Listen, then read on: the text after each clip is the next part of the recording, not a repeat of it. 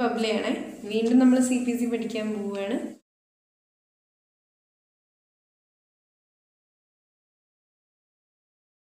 അഞ്ച് മുതൽ മുപ്പത് വരെയാണ് ഇന്നത്തെ ഇതിൽ പറയുന്നത്. അപ്പം ഓർഡർ പതിനാറ് എന്താണ്? Summoning and attendance of witness അപ്പം നമ്മൾ പതിനഞ്ച് വരെ പഠിച്ചിട്ടുണ്ടായിരുന്നു. ഡിസ്പോസൽ ഓഫ് സ്യൂട്ട്സ് വരെ പഠിച്ചിട്ടുണ്ടായിരുന്നു. അത് കഴിഞ്ഞിട്ട് നമുക്ക് നോക്കേണ്ടതെന്ന് വെച്ചാൽ സമ്മണിങ്ങും വിറ്റ്നസിന്റെ അറ്റൻഡൻസുമാണ് അത് കഴിഞ്ഞ് കഴിഞ്ഞാൽ വിറ്റ്നസ് വിറ്റ്നസിനെ കുറിച്ചിട്ടാണ് പിന്നെ പറയുന്നത്. അപ്പം അറ്റൻഡൻസ് ഓഫ് വിറ്റ്നസ് ഉണ്ടെങ്കിൽ തന്നെ അത് കൺഫൈൻഡ് ആണോ ഡീറ്റെയിൻഡ് ആണോ പ്രിസണിൽ എന്നുള്ള അനുസരിച്ചിട്ട് ഓർഡർ സിക്സ്റ്റീൻ എ പറയുന്നുണ്ട്. സിക്സ്റ്റീൻ ആണ് അറ്റൻഡൻസ് പറയുന്നതെന്ന് വെച്ചാൽ സിക്സ്റ്റീൻ എ പറയുന്നത് ഇൻ പ്രിസണിലുള്ളവരുടെ അറ്റൻഡൻസ് ആണ്. പിന്നെ adjournment order order order seventeen പറയുന്നത് അഡ്ജൺമെന്റ് ആണ്. പിന്നെ hearing of suits and examination of witness പറയുന്നത് order eighteen hearing of suits and examination of witness ഇത് തന്നെയാണ് നമ്മൾ കഴിഞ്ഞ എക്സാമിനേഷൻസും ഈ പറയുന്നവരുടെ സ്യൂട്ട്സ് ഫ്രെയിം ചെയ്യുന്നതിന്റെ അവിടെയൊക്കെ പറഞ്ഞ കാര്യങ്ങൾ തന്നെയാണ് ഇത് എന്ന് നമുക്ക് തോന്നുമായിരിക്കും. പക്ഷേ അതല്ല കുറച്ചുകൂടെ സ്പെസിഫിക് ആയിട്ട് എങ്ങനെയാണ് സ്യൂട്ട് ഹിയർ ചെയ്യുന്നതെന്നും ആ അതിന് എക്സാമിനേഷൻ ഓഫ് വിറ്റ്നസ് എങ്ങനെയൊക്കെ നടക്കണം നടക്കാതിരിക്കണം എന്നൊക്കെ ഈ ഓർഡർ എയ്റ്റീൻ കുറച്ചുകൂടെ ഇലാബറേറ്റ് ചെയ്തിട്ട് പറഞ്ഞിട്ട് പോകുന്നുണ്ട്. പിന്നെ അഫിഡവിറ്റ് സത്യവാങ്മൂലം എങ്ങനെയായിരിക്കണം എന്നുള്ളത് ഓർഡർ നയന്റീൻ പറഞ്ഞു പോകുന്നുണ്ട്. പിന്നെ ഓർഡർ ട്വന്റി ട്വന്റി പറയുന്നത് ജഡ്ജ്മെന്റ് ആൻഡ് ഡിഗ്രി ജഡ്ജ്മെന്റും ഡിഗ്രിയും നിങ്ങൾക്ക് എങ്ങനെയാണ് കിട്ടുക? എങ്ങനെയാണ് ജഡ്ജ്മെന്റ് ആൻഡ് ഡിഗ്രി വാങ്ങേണ്ടത് എന്നൊക്കെ പറയുന്നത് ഓർഡർ ട്വന്റിയിലാണ് അത് എഴുതേണ്ടതിന്റെ ഫ്രെയിമിങ്ങും കാര്യങ്ങളൊക്കെ പറയുന്നുണ്ട് കേട്ടോ പിന്നെ പറയുന്നത് ട്വന്റി എ പറയുന്നത് ഇതും അനുബന്ധിച്ച് നിങ്ങൾക്ക് വരുന്ന കോസ്റ്റിനെ കുറിച്ചിട്ടാണ് സോ നിങ്ങൾക്ക് വരുന്ന ചിലവുകൾ എന്തൊക്കെയാണെന്നുള്ളത് പറയാൻ ഒരു സെക്ഷൻ തന്നെ അല്ലെങ്കിൽ ഒരു ഓർഡർ തന്നെ മുഴുവനായിട്ട് വെച്ചിരിക്കുകയാണ്. ട്വന്റി എ ആണത്. Order twenty A execution of decree and order എന്ന് പറഞ്ഞിട്ട് ഓർഡർ ട്വന്റി വൺ നമ്മൾക്ക് one to one nought six വരെ ഈ സെക്ഷൻസ് ആണ് നമ്മൾക്ക് എന്ത് പറയുന്നത്? Execution of decree and order പറയുന്നത്.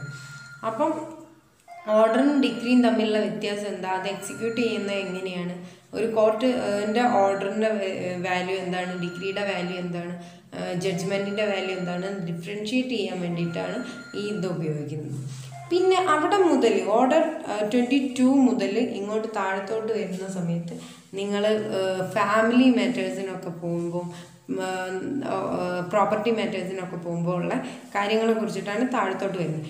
Death marriage insolvency of parties ഒക്കെ പറയുന്നത് order twenty ടുവിലാണ് withdrawal and adjustment of suits വരുന്നത് ഓർഡർ ട്വന്റി ത്രീയിലാണ് പേയ്മെന്റ് കോർട്ടിൽ എങ്ങനെ കൊടുക്കാം എന്ന് പറയുന്നത് ഓർഡർ ട്വന്റി ഫോറിലാണ് സെക്യൂരിറ്റി ഫോർ കോസ്റ്റ് ആര് നിൽക്കണം എന്താണ് എന്നുള്ളത് പറയുന്നത് ഓർഡർ ട്വന്റി ഫൈവിലാണ് കമ്മീഷൻ വക്കീൽ എന്നൊക്കെ കേട്ടിട്ടില്ലേ?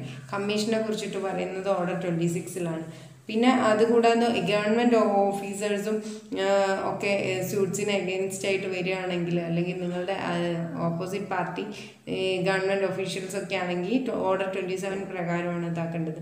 അതേപോലെ ഇന്റർപ്രിട്ടേഷൻ ഓഫ് കോൺസ്റ്റിറ്റ്യൂഷനിൽ എന്തെങ്കിലും ഇന്റർപ്രിട്ടേഷനോ കാര്യങ്ങളോ സ്റ്റാറ്റ്യൂട്ടറി ലോസിലോ അല്ല ഇന്റർപ്രിട്ടേഷനോ ഒക്കെ വരികയാണെങ്കിൽ ഓർഡർ ട്വന്റി സെവൻ എ ആണ് പറയുന്നത്. ഓക്കെ ട്വന്റി സെവൻ എ ഓർത്ത് വയ്ക്കണേ ഗവൺമെന്റിന്റെ എഗെയിൻസ്റ്റാണ് ട്വന്റി സെവൻ വരുന്നത്. Government government officials government officers അതിന് എഗെയിൻസ്റ്റായിട്ട് സൂട്ട് വരുമ്പോൾ ട്വന്റി സെവൻ എ പക്ഷേ പറയുന്നത് ഈ പറയുന്ന പോലെ കോൺസ്റ്റിറ്റ്യൂഷണൽ ഇന്റർപ്രിട്ടേഷൻസോ സ്റ്റാറ്റ്യൂട്ടറി ലോസിലെ ഇന്റർപ്രിട്ടേഷൻസോ ഒക്കെ വേണ്ടി വന്നാൽ എങ്ങനെയാണ് എടുക്കുന്നത് പിന്നെ മിലിറ്ററി നേവി അതേപോലെ തന്നെ എയർമാൻ എന്തെങ്കിലും ചെയ്യുകയാണെങ്കിലൊക്കെ ഈ ഓർഡർ ട്വന്റി എയ്റ്റ് പ്രകാരം. പിന്നെ കോർപ്പറേഷൻ അങ്ങനെ മുനിസിപ്പാലിറ്റി ഓരോരോ ഇതിന് ഓരോന്നാണ് കോർപ്പറേഷന്റെ പറയുന്നതെന്ന് വെച്ചിട്ടുണ്ടെങ്കിൽ ഓർഡർ ട്വന്റി നയനിലാണ് പിന്നെ പറയുന്നത് ഫേമും പേഴ്സൺസും ഒക്കെ ചെയ്തിട്ടുണ്ടെങ്കിൽ എങ്ങനെയാണെന്നുള്ളത്. അത് പറയുന്നത് ഓർഡർ തേർട്ടിയിൽ സോ ഇത്രയാണ് നമ്മൾക്ക് ഇതിൽ പറഞ്ഞു പോകാനുള്ളത്. ഇനി റൂൾസ് എങ്ങനെയാണ് നമ്മൾ പഠിക്കുന്നത്? നമ്മൾ പഠിക്കുമ്പോൾ ആദ്യമായിട്ട് അറിയേണ്ടത് ഓർഡേഴ്സിന്റെ കീഴിൽ നമ്മൾ പഠിച്ചു പോകുമ്പം തന്നെ റൂൾസ് എഴുതി വയ്ക്കുക എന്നുള്ളതാണ്. സോ എങ്ങനെയായിരിക്കും നമുക്ക് ഒന്ന് നോക്കാം. ഒരു സാമ്പിൾ ഞാൻ പറയുകയാണ്.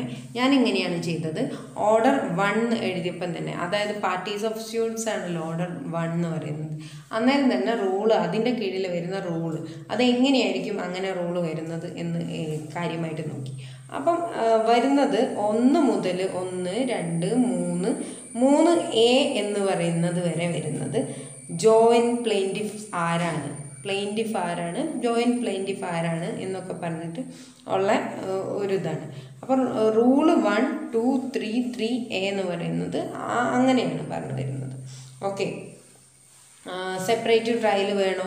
ട്രയൽ വേണ്ടേ? അങ്ങനത്തെ കാര്യങ്ങളൊക്കെയാണ് അതിന്റെ സംബന്ധിച്ച റൂളുകൾ ആണ് പറയുന്നത്. അതായത് ഓർഡറിനെ ഓർഡർ ഓൾറെഡി ഇനാക്ട് ചെയ്യാൻ അല്ലെ ഫാക്റ്റിനെ ബ്രോട്ട് ചെയ്തിട്ട് ഇനാക്ട് ചെയ്യാൻ വേണ്ടിയിട്ട് ഉണ്ടാക്കിയ. അതിനെ കുറച്ചും കൂടി ഇംപ്ലിമെന്റ് ചെയ്യാൻ വേണ്ടിയിട്ട് സഹായിക്കുന്നതാണ് റൂൾസ് അപ്പം ഒരു കാര്യം നമ്മൾ പാർട്ടീസിനെ കുറിച്ച് പറഞ്ഞു. ആരൊക്കെയാണ് പാർട്ടീസ് എന്തൊക്കെയാണ് പാർട്ടീസ് പ്ലെയിന്റിന്റെ ആണ് പാർട്ടീസ് അല്ല മീൻസ് പ്ലെയിന്റിഫാണ് പാർട്ടീസ് ഡിഫൻഡന്റ് ആണ് ഓപ്പോസിറ്റ് ചെയ്യുന്നത് എന്നൊക്കെ നമ്മൾ പറഞ്ഞു. അവിടെ കുറച്ചും കൂടി സംശയം ഉണ്ടാവും. രണ്ട് പ്ലെയിന്റിഫ് വന്നാൽ രണ്ട് ഡിഫൻഡന്റ് വന്നാലൊക്കെ എങ്ങനെയായിരിക്കും നമുക്ക് ചെയ്യാൻ പറ്റുക? അങ്ങനെയുള്ള കാര്യങ്ങൾ ഓർഡർ വണ്ണിൽ റൂളുകളായിട്ടാണ് പിന്നെ പറയുന്നത്. Rule one two three three A എന്ന് പറയുന്നതൊക്കെ അതാണ്. പിന്നെ അത് കൂടാണ്ട് പിന്നെ റൂൾസ് വന്നിട്ടുള്ളത് four five six seven eight eight A എന്നൊക്കെ പറയുന്ന റൂൾസ് വന്നിട്ടുള്ളത് ഡിഫൻഡന്റിനെ കുറിച്ചിട്ട്. അപ്പോൾ ആദ്യം നമ്മൾ പ്ലെയിന്റിഫിനെ കുറിച്ചിട്ടും പിന്നെ നമ്മൾ ഡിഫൻഡന്റിനെ കുറിച്ചിട്ടും ഓർഡർ വണ്ണിൽ നോക്കുക. പാർട്ടീസിനെ കുറിച്ചിട്ട് ഇതാക്കുമ്പോൾ. സോ ഒന്ന് രണ്ട് മൂന്ന് മൂന്ന് എ എന്ന് പറയുന്നത് റൂൾ പ്ലെയിന്റിഫിനെ കുറിച്ച് പറഞ്ഞപ്പം ആറ് നാല് അഞ്ച് ആറ് ഏഴ് എട്ട് എട്ട് എ എന്ന് പറയുന്ന ഡിഫൻഡന്റിനെ കുറിച്ച് പറഞ്ഞു. അപ്പോൾ ഓർഡർ വണ്ണിനെ കുറിച്ചിട്ട് ഇനി നിങ്ങൾ മറക്കില്ല എന്ന് തോന്നുന്നു. ഇതേപോലെ ഓർഡർ ടു ഓർഡർ ത്രീ അങ്ങനെ പറയുന്ന ഓർഡർ എഴുതുമ്പോൾ തന്നെ ഏതൊക്കെ റൂൾസ് എങ്ങനെയായിരിക്കും ഈ റൂൾസ് ആ ഓർഡറിലേക്ക് വന്നത് എന്നാണ് നമ്മൾ പറയുന്നത് ഇപ്പം ഞാൻ രണ്ടാമത്തെ ഇത് അതായത് ഓർഡർ ടുവിന്റെ ഉദാഹരണം പറയുകയാണെങ്കിൽ ഫ്രെയിമിംഗ് ഓഫ് സ്യൂട്ട്സ് ആണ് വരുന്നത്. അപ്പോൾ നമ്മൾ വീണ്ടും one two three four five six seven വരെ ഉള്ളത് അതായത് പ്ലെയിന്റിഫും ഡിഫൻഡന്റും ആയിട്ടുള്ള റൂളുകൾ ഇതിൽ ആപ്ലിക്കബിൾ ആണ്. കാരണം ഫ്രെയിമിംഗ് ഓഫ് സ്യൂട്ട്സിൽ പാർട്ടീസ് എന്തായാലും അത്യാവശ്യമാണ് സോ പാർട്ടീസ് ആരൊക്കെ എങ്ങനെ എങ്ങനെയൊക്കെ ഫ്രെയിം ചെയ്യാം എങ്ങനെ ഇതാക്കാം എന്നുള്ളത് നമുക്ക് അറിയണം. സോ ഇത്രയും റൂളുകൾ ഇതിൽ അത്യാവശ്യമാണ് സോ അങ്ങനെ ഓർഡർ വൺ ഓർഡർ ടു ഇപ്പം നിങ്ങൾക്ക് മനസ്സിലായി. ഓർഡർ ത്രീയിലേക്ക് വരുന്ന സമയത്ത് ഒന്ന് രണ്ട് മൂന്ന് നാല് അഞ്ച് ആറ് വരെയുള്ളൂ ആറ് വരെ പറയും. കാരണം ഓർഡർ ത്രീ എന്താ പറയുന്നത് ഏജൻസ് ഏജൻസ് അല്ലെങ്കിൽ പ്ലീഡർ എങ്ങനെ മനസ്സിലാക്കാം? എങ്ങനെ പോകണം? ഏജൻസിനെ ആണെങ്കിൽ നിങ്ങൾ എവിടെയൊക്കെ കൂട്ടിക്കൊണ്ടുപോകാം പ്ലീഡറിനെ നിങ്ങൾ എന്തിനു വേണ്ടിയിട്ട് കോടതിയിൽ പ്ലീഡറിനെ എന്തിനാണ് ഏൽപ്പിക്കുന്നത് എങ്ങനെ ഏൽപ്പിക്കാം? എന്നുള്ള കാര്യങ്ങളൊക്കെ പറയുമ്പോൾ അവിടെ ഒന്ന് രണ്ട് മൂന്ന് നാല് അഞ്ച് ആറ് വരെയുള്ള ഈ പറയുന്ന കാര്യങ്ങളാണ്. അതായത് പ്ലെയിന്റിഫിനെയും ഡിഫൻഡന്റിനെയും എങ്ങനെ പ്ലീഡറിനെ ആപ്ലിക്കബിൾ ആവും എന്നുള്ളതാണ് ഈ പറയുന്ന അല്ലെങ്കിൽ രണ്ട് പ്ലെയിന്റിഫോ രണ്ട് ഡിഫൻഡന്റോ രണ്ടിൽ കൂടുതലോ കാര്യങ്ങളോ മീൻസ് കക്ഷികളോ ഉണ്ടാവുകയാണെങ്കിൽ അവർക്ക് എങ്ങനെയായിരിക്കും ഈ കാര്യങ്ങൾ ആപ്ലിക്കബിൾ ആവുക എന്നുള്ളതാണ് അവിടെ പറയുന്നത്. അപ്പോൾ ഇങ്ങനെ ഓർഡറിന് ശേഷം റൂൾ എന്ന് പറയുന്നത് ഈ പറയുന്ന പോലെ എഴുതി വെച്ചാൽ നിങ്ങൾക്ക് അത് എങ്ങനെയാണ് ആപ്ലിക്കബിൾ ആകുക എന്നുള്ളത് നമുക്ക് മനസ്സിലാവും ഒന്നുകൂടെ പറയാം. ഓർഡർ ഫോറിൽ വണ്ണും ടൂവും മാത്രമാണ് വരുന്നത്. സോ വണ്ണും ടൂവും വരുന്നത് പ്ലെയിന്റിനെ കുറിച്ചിട്ടാണ് അവിടെ പറയുന്നുള്ളൂ എന്തുകൊണ്ടാണ് അങ്ങനെയെന്ന് വെച്ചാൽ ഇൻസ്റ്റിറ്റ്യൂഷൻ ഓഫ് സ്യൂട്ട്സ് ആണ്. ഇൻസ്റ്റിറ്റ്യൂഷൻ ഓഫ് സ്യൂട്ടിൽ എങ്ങനെയാണ് രജിസ്റ്റർ ചെയ്യേണ്ടത് സ്യൂട്ട് എന്ന് മാത്രമേ ഉള്ളൂ. സോ രജിസ്റ്റർ ചെയ്തതിന് ശേഷം വരുന്നതാണ് റിട്ടേൺ അതായത് പ്ലെയിന്റ് വന്നാൽ മാത്രമേ റിട്ടേൺ സ്റ്റേറ്റ്മെന്റിന് വാല്യൂ ഉള്ളൂ. സോ പ്ലെയിന്റ് വന്നതിന് ശേഷം മാത്രമേ റിട്ടേൺ സ്റ്റേറ്റ്മെന്റ് വേണ്ടുള്ളൂ അല്ലെ കൗണ്ടർ വേണ്ടുള്ളൂ ജി റീജോയിന്ററൊക്കെ വേണ്ടുള്ളൂ.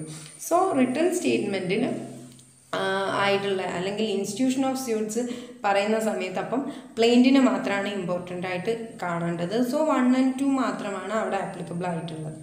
ഓർഡർ ഫോർ എന്ന് പറയുന്നിടത്ത് നമ്മൾക്ക് അറിയാം ഈ സമൻസാണ് നമ്മൾ ഇതാക്കുന്നത്. സോ അവിടെ one two three four five പറഞ്ഞു. അത്രയും ഈ പറയുന്ന ഫൈവ് വരെയുള്ള കാര്യങ്ങൾ പറഞ്ഞതിന് ശേഷം പത്ത് വരെ ആറ് ഒന്ന് മുതൽ പത്ത് വരെയാണ് നമ്മൾ അവിടെ ആപ്ലിക്കബിൾ ആകുന്ന റൂൾസ് ഒന്ന് മുതൽ പത്ത് വരെ എങ്ങനെ ആപ്ലിക്കബിൾ ആവും? ആദ്യം ഒന്ന് മുതൽ അഞ്ച് വരെ പ്ലെയിന്റിഫും രണ്ടാമത്തത് ആറ് മുതൽ പത്ത് വരെ ഡിഫൻഡന്റിനെയും കുറിച്ച് പറയുന്നു. അപ്പോൾ ഇതിൽ സമൻസ് പ്ലെയിന്റിഫിനും ഡിഫൻഡന്റിനും എങ്ങനെ ബാധിക്കുന്നു എങ്ങനെ ഇതാകുന്നു എന്നുള്ളതിന്റെ ഇംപ്ലിമെന്റേഷൻസ് ആണ് പറയുന്നത്.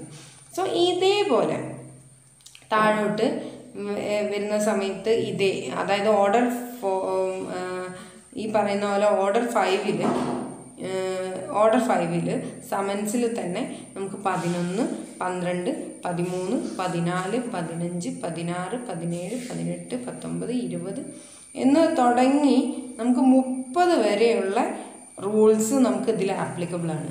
അതായത് ആദ്യം നമ്മൾ പറഞ്ഞു ഒന്ന് മുതൽ അഞ്ച് വരെ പ്ലെയിൻ ഡിഫ് ആറ് മുതൽ എട്ട് പത്ത് വരെ ഡിഫൻഡന്റ് പിന്നെ വരുന്നത് പതിനൊന്ന് മുതൽ സർവീസ് റിലേറ്റഡ് ആയിട്ട് അല്ലെങ്കിൽ സെവറൽ ഡിഫൻഡന്റ് എന്ന് പറയുന്ന ഒരു കാറ്റഗറി വരുന്നു. അത് കഴിഞ്ഞിട്ട് പിന്നെ പതിനാറ് മുതൽ വരുന്ന വരുമ്പോൾ എന്ന് വെച്ചിട്ടുണ്ടെങ്കിൽ സൈന് അക്ലോ അക്നോളജ്മെന്റ് ഒക്കെ എങ്ങനെ എടുക്കണം എന്താണ് കാര്യങ്ങൾ എങ്ങനെയാണ് പാർട്ടീസിനെ നമുക്ക് മനസ്സിലാവണ്ടേ. അപ്പോൾ അതിനുള്ള കാര്യങ്ങളൊക്കെ പറയുന്നു. പിന്നെ അതേ കൂടാണ്ട് ജൂറിസ്ഡിക്ഷൻ എവിടെയാണ്? എന്നുള്ളത്. അത് അതേപോലെ ഏജന്റിന്റെ ഏജന്റ് എവിടെയുള്ള ആളാവണം. അതേപോലെ ഡി ഡിഫൻഡന്റ് എവിടെ ഉള്ള അവരുടെ ജൂറിസ്ഡിക്ഷനുമായിട്ട് ബന്ധപ്പെട്ടിട്ട് ഇരുപത്തൊന്ന് മുതൽ ഇരുപത്തഞ്ച് വരെ റൂൾസ് ഇതിൽ ഇൻക്ലൂഡഡ് ആക്കിയിട്ടുണ്ട്. അതുകൂടാണ്ട് ഇരുപത്താറ് മുതൽ ഇരുപത്താറ് എ ഇരുപത്തേഴ് ഇരുപത്തെട്ട് ഇരുപത്തൊമ്പത് മുപ്പത് എന്ന് പറയുന്നത് ഫോറിൻ ടെറിട്ടറിയിൽ അഥവാ നമ്മളുടെ ഈ ഇത് കക്ഷികൾ വരുവാണെങ്കിൽ അതെങ്ങനെ? അല്ലെങ്കിൽ ഈ കേസ് ഫോറിൻ ടെറിട്ടറിയിലുള്ള ആൾക്കാരുമായിട്ട് ബന്ധപ്പെട്ടതാണെങ്കിൽ അതെങ്ങനെയാണ് സമൻസിൽ ആപ്ലിക്കബിൾ ആവുന്നത് എന്നുള്ളതാണ് പറയുന്നത്. സോ ഇങ്ങനെയാണ് എന്റെ മെത്തേഡായിട്ട് വരുന്നത്. സോ ഓർഡർ എന്ന് പറയുന്നത് നമ്മൾ എടുക്കുമ്പോൾ ഇങ്ങനെ ഞാൻ എന്താക്കും ഓർഡറിനെ റൂൾസിലേക്കും കണക്ട് ചെയ്യും. റൂൾസിലേക്കും കണക്ട് ചെയ്തിട്ട് ഇതേപോലെ പഠിക്കുന്ന സമയത്ത് നമുക്ക് വളരെ ഉപകാരപ്രദമാണ്. നമ്മൾ ആദ്യം മനസ്സിലാക്കാനുള്ള മനസ്സുണ്ടാവുക എന്നുള്ളതാണ്. മനസ്സിലാക്കി പഠിക്കാൻ വേണ്ടിയിട്ടുള്ള ഒരു മനസ്സുണ്ടായി കഴിഞ്ഞിട്ടുണ്ടെങ്കിൽ സി പി സി എന്നല്ല വഴങ്ങാത്ത ഏത് സബ്ജക്റ്റും നമുക്ക് വഴങ്ങും. ഈ ഒരു വീഡിയോ കണ്ടതോട് കൂടിയിട്ട് നിങ്ങൾക്ക് സി പി സിനോടുള്ള ഒരു അകൽച്ച പോയി എന്ന് വിചാരിക്കും. അതേപോലെ പഠിക്കാനുള്ള മെത്തേഡ് മനസ്സിലായിട്ടുണ്ടാവും എന്ന് വിചാരിക്കുന്നു. സോ നിങ്ങൾ ഈ ഒരു ഇത് ഫോളോ ചെയ്യുമ്പം ഞാൻ പറഞ്ഞുകൊണ്ടേ ഇരിക്കാറുള്ള സബ്സ്ക്രൈബും ഷെയറും നടത്തിക്കൊണ്ടേ ഇരിക്കുക. കാരണം നിങ്ങളുടെ പോലെ തന്നെ ബാക്കിയുള്ളവർക്കും കൂടി ഉപകാരപ്രദമാവട്ടെ എന്ന് കരുതിയിട്ടാണ്. സോ ഇന്നത്തെ സെക്ഷനും അവസാനിക്കുന്നു. സോ അടുത്ത സെക്ഷൻ അടുത്ത ദിവസം വളരെ സുന്ദരമായിട്ടുണ്ടാവട്ടെ എന്ന് വിചാരിക്കുന്നു. ബൈ